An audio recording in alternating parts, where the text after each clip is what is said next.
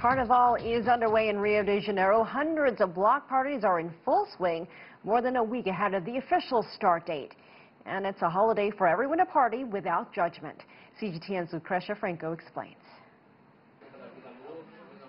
There are patients, doctors, and therapists linked to Rio de Janeiro's Philippe Pinel Psychiatric Institute, and they have their own blocos, or block party.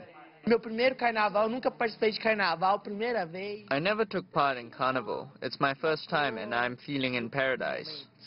This particular block party is called Tapirando Pirado Pirou, getting crazy, crazy, got crazy in English. And it's parading for the sixth year in a row.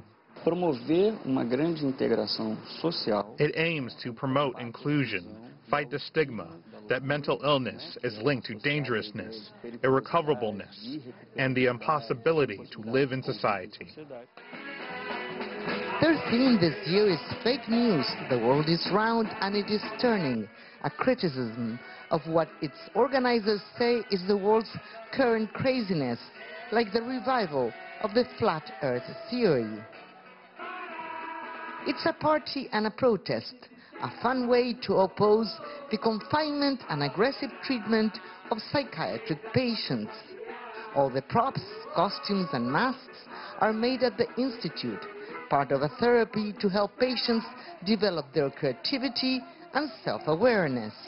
Não existe um julgamento de modo que uns There is no judgment. Nobody feels the pressure of saying or doing something inappropriate. It is the result of one year of hard work. Carnival in Rio is that time of the year when so-called normal people go wild in the streets. So what it is really hard to tell in this one-of-a-kind block is who are patients and who are not.